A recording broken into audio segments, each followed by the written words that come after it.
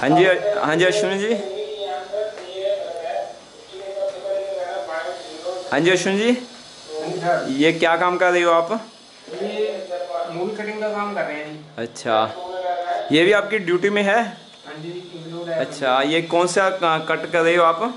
ये मैं दो वीडियो बनाए हैं। उन अच्छा। दो वीडियो को इकट्ठा करके और कटिंग कर रहा हूँ। ये कौन सा सॉफ्टवेयर इस्तेमाल कर रही हो इसके लिए? इसके विंडो मूवी मेकर है। अच्छा। एक्सपी होता है विंडो एक्सपी में होता है। अच्छा।